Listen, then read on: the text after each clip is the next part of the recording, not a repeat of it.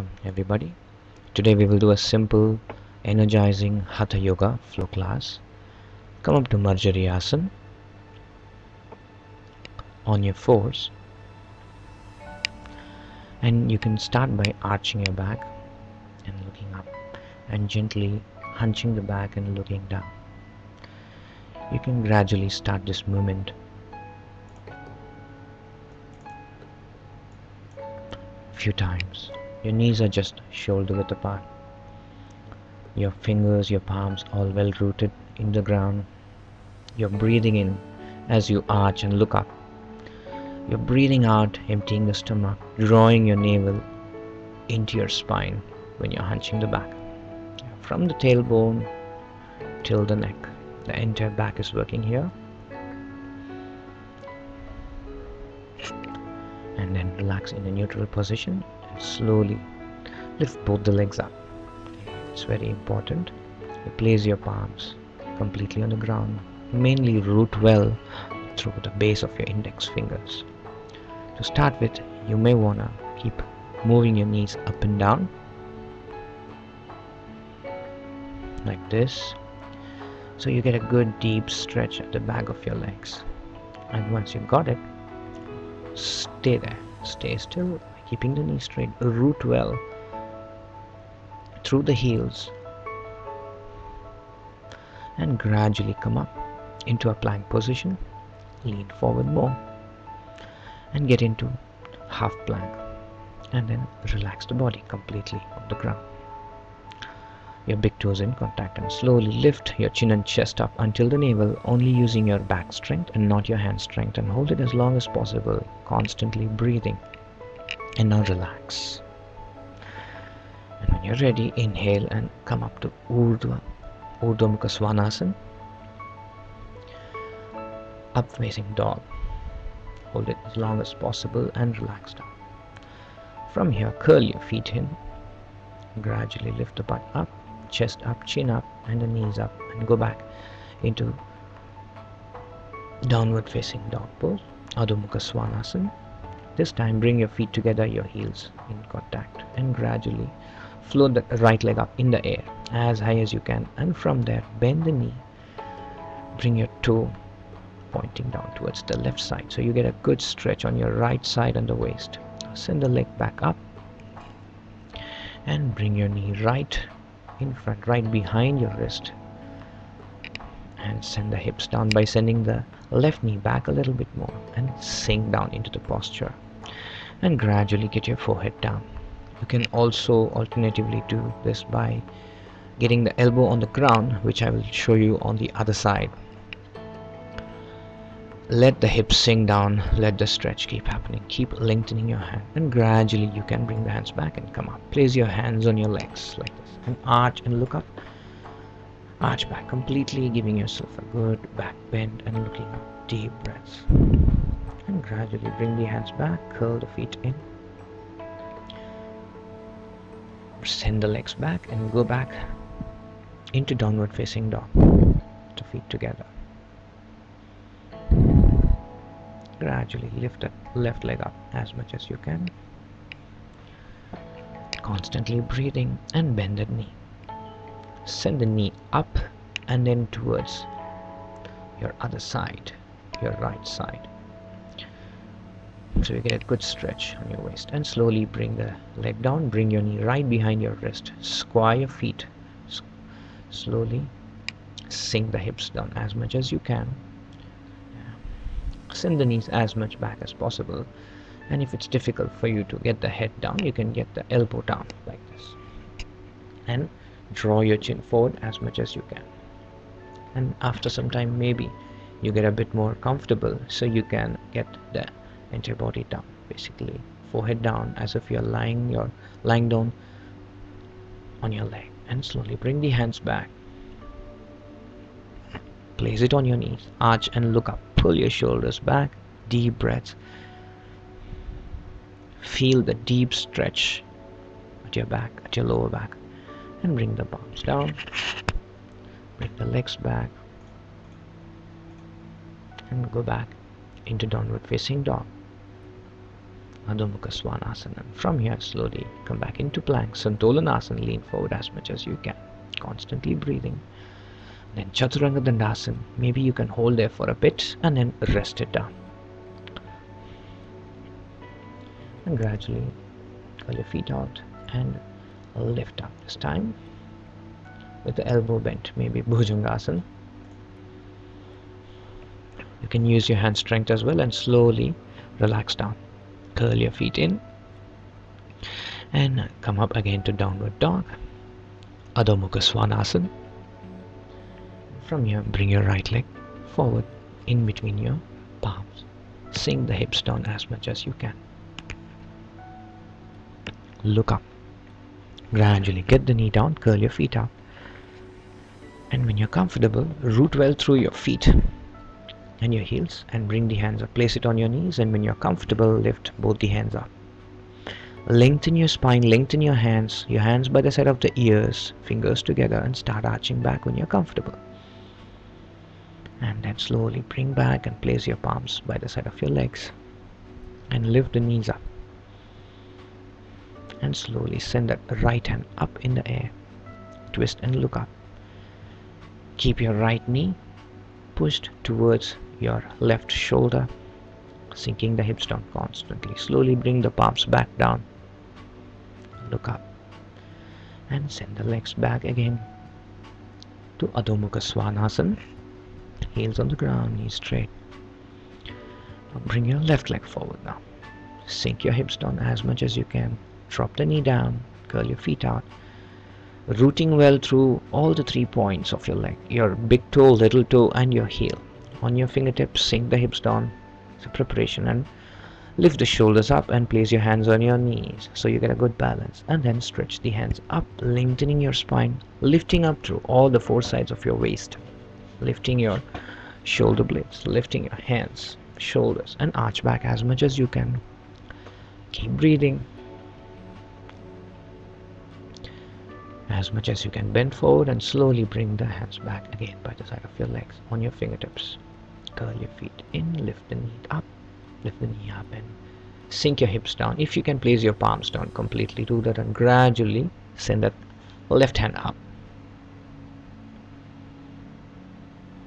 Keep your hip sink down as much as you can but the knee back knee lifted up. And slowly bring the palms back down. Now this time bring your right leg forward to join the left leg. Grab hold of your big toe with the help of the first two fingers and draw your neck forward and flatten the back. And now slowly bend forward taking your forehead to the knee bending the elbows. And once again you're gonna draw your head forward trying to flatten the back without letting go of your toes with the first two fingers. Back is trying to arch and this time release your hands and place your hands by the side of your legs. Fold yourself completely get your forehead to the knee abdomen onto the thighs. One more time flat back. Inhale up and place your hands on your waist and slowly stand up. Feet back together. Support your lower back. Your hands are almost on your butt supporting it. Keep your knees tight but firm and arch back as much as you can. Constantly breathing. Bring the elbows closer slowly come back up Send the hips back and bend forward gradually. And place your palms on the ground. Once again, flat back and hands on your waist and come up. Send the legs apart now. And place your hands on your waist and bend forward. Upper body parallel to the ground. You're gonna extend through the outer edge of your legs, the outer edge of the knee, and then pull up through the inner edge of your knee and place your hands back in your waist and send the right hand forward.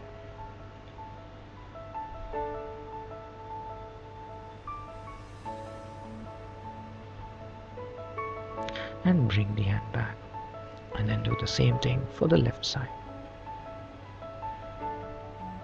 Don't let that right elbow drop down and hold it there. Keep your abdomen pulled in, navel drawn into your spine, spine erect.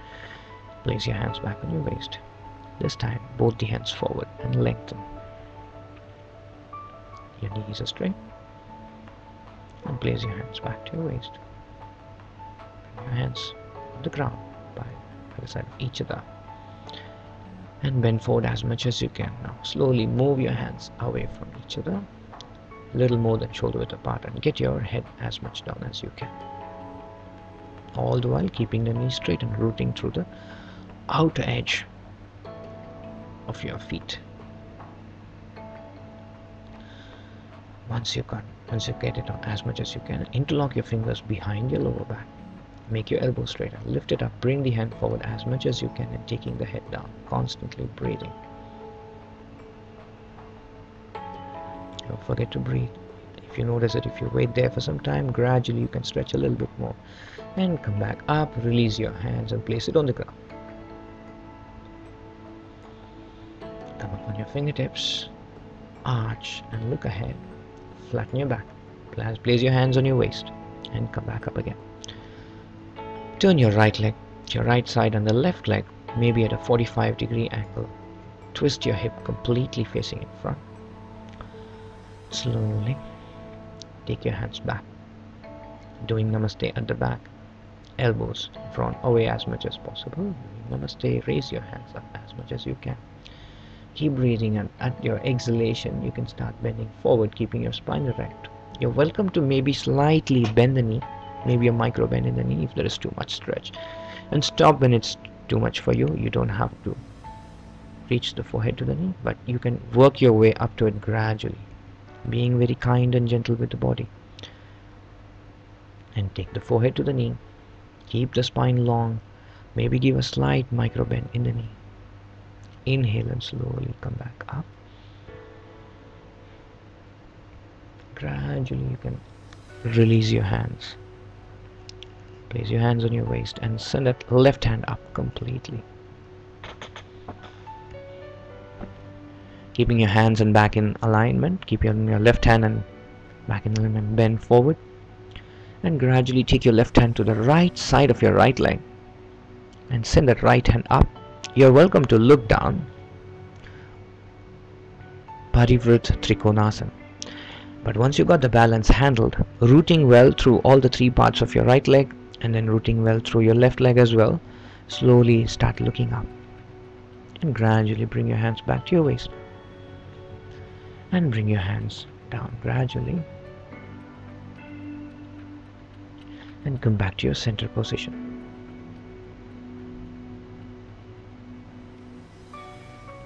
getting a little bit of breather there. By now you must have worked out uh, worked up a lot of sweat. The same thing for the left side. Turn your left leg out completely 90 degree angle and the right leg at a 45 degree angle. Send both the hands back.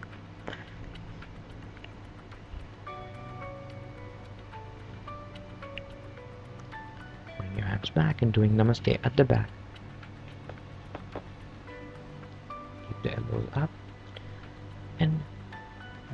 lean forward drawing from the chest and the chin so your spine is in fact stretched as if you're trying to arch the back even though there is a slight hunch happening in the back. You keep trying to pull the spine forward and gradually get the forehead to the knee. Sometimes you're more flexible on one side than the other. Respect that. Don't try to match it on both the sides. Even though that is your intention just do as much as your body allows you once you're there gradually come back up while you inhale Place your hands back in your waist and send that right hand up this time.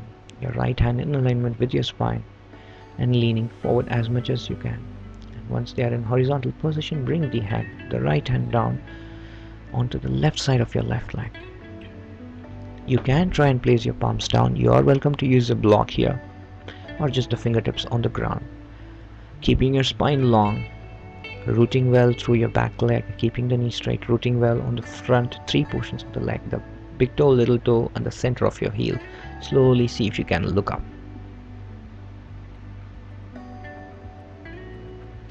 And slowly bring the hands back again. Sink the hips down. And come back to the center position. And slowly come up and bring your legs together into the back into the front of the mat. Send the hips back as much as you can and bend forward getting the forehead to the knee. Gradually bend the knees in seated position. We're gonna do something different here. Slowly get into Vajrasana and once you're in Vajrasana slowly come up. We're gonna get ready for Supta Vajrasana take the heels apart. Your knees are still close to each other heels apart and place your butt on the ground. And slowly when you're comfortable and slowly fall back and drop your elbows down look back. Maybe your ankles are too tight to practice this so work your way up to it and do as much as you possibly can. Gradually once your elbows are down if you can walk your elbows in front and completely lying down on your stomach lying down on your back. And stretch your hands over the head. Supta Vajrasana stay there for some time and once you're done gradually come back on your elbows and come up completely getting your spine erect. Slowly bring your legs in front. You're gonna sit in Dandasana for a bit keeping your feet together ankles engaged curled in knees are together your hands relaxed. Inhale lift both the hands up as if someone is pulling you from up. You're gonna lengthen your spine and hands and as you exhale bend forward get into Paschimottanasana hold the toes and forehead to the knees. Once you're comfortable there your body is quite warmed up now so you might be able to do this. Interlock your fingers. Palms turned away and lock it. Your feet and forehead down. Find the length in your hamstrings and calves and in your back. Release. The same way you went into the posture you're gonna release. Inhale come back up. And exhale relax your hands down we're gonna gradually cool down the body. Now we're going to do a little bit of spine twist. First bring your right leg in interlock your fingers and spine long and first give a slight twist to the left side. Now with the help of your left hand hug your right leg so that your fingers reach the quadricep portion of your right leg. And then take the right hand back as much as you can and twist and look back. Keep your spine long constantly breathing. It's very good for your stomach and internal digestive organs and release your leg out the same way. Keep your right leg back and bring your left leg. Now interlock your fingers get your spine erect this time turn a little bit to the right and hug your left leg with your right hand. And you can use your left hand and hug it tighter and slowly send the left hand back. Pull your shoulders away. Twist so much that your chest and your abdomen completely faces the left side pull that left shoulder back as much as you can and slowly once you're done bring it back. Place it back.